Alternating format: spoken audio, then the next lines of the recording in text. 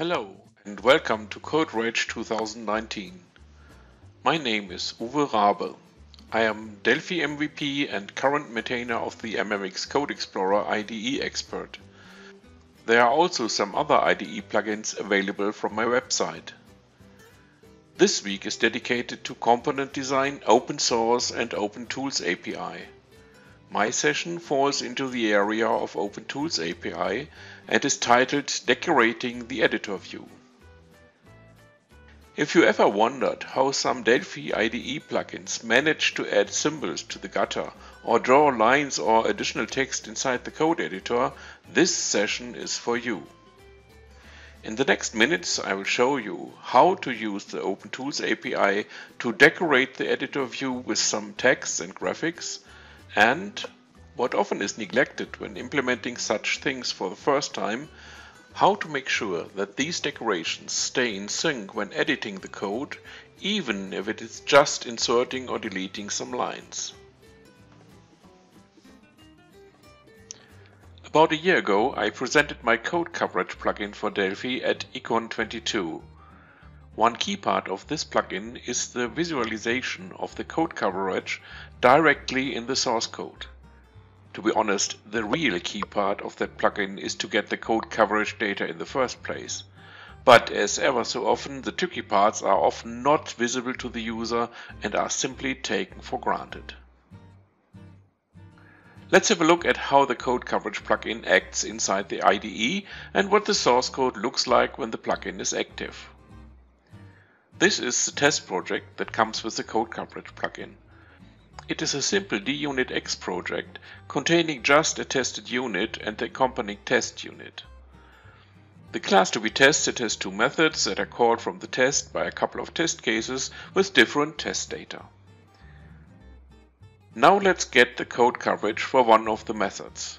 For this, we locate the cursor inside that method and click the Code Coverage Switch button in the toolbar. The result is a small symbol for code coverage appearing in the gutter next to the procedure declaration. This symbol is drawn by some editor decoration code we will see in a minute. Now we run the test project through our code coverage plugin. This is triggered by a click on the other code coverage button in the toolbar. The results of this run are shown immediately in the source. First, we notice some blue dots and circles in the leftmost text column. Blue dots mean a covered code line, while blue circles stand for no executable code in that line.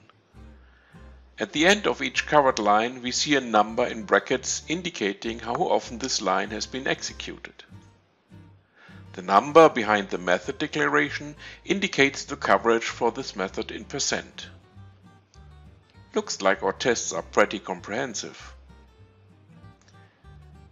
To show the results with less coverage, we just skip some of the tests.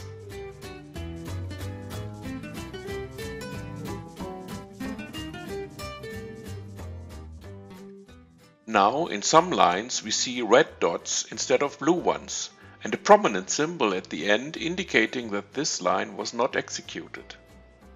Also, the code coverage of this method has dropped to 57%. Let's get back to the topic of this session. We see a symbol in the gutter and some additional text and some more symbols in the source area. Now let's see how they get there. To be able to draw in the editor area, we must implement the interface INTA edit view notifier. The most important method here is paintLine. The paintLine parameters give us the current edit view, the text of the line and its length, the attributes for each character in the text, the canvas, the text area, the entire drawing area and the size of a single character. The implementation of paintLine first saves the current canvas state, that's the brush, pen and font, then some areas needed for later drawing are calculated. The next block checks whether the method is covered, draws the symbol in the gutter and writes the percentage value behind the declaration. In the following code block, we look for coverage data for this line. First, we draw the dot or circle, the former in blue or red. For simplicity we use special characters instead of icons. Next we either draw the no coverage icon or write the pass count in brackets. Note that only one of these two blocks will be executed for a line. Although paintLine is the most important method we need to implement, the other methods allow us to do some optimizations and updates.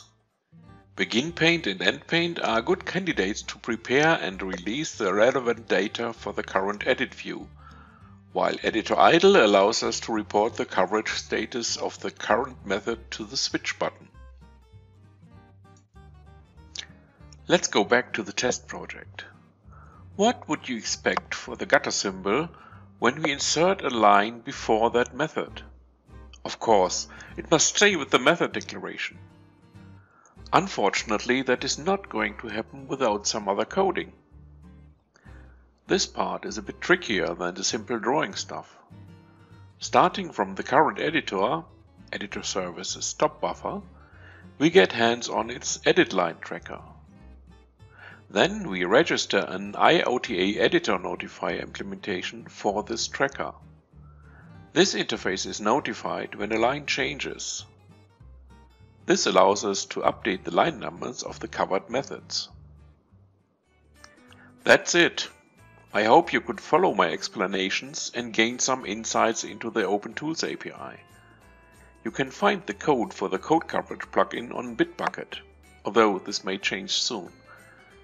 Search for Code Coverage Magician. Thank you for listening.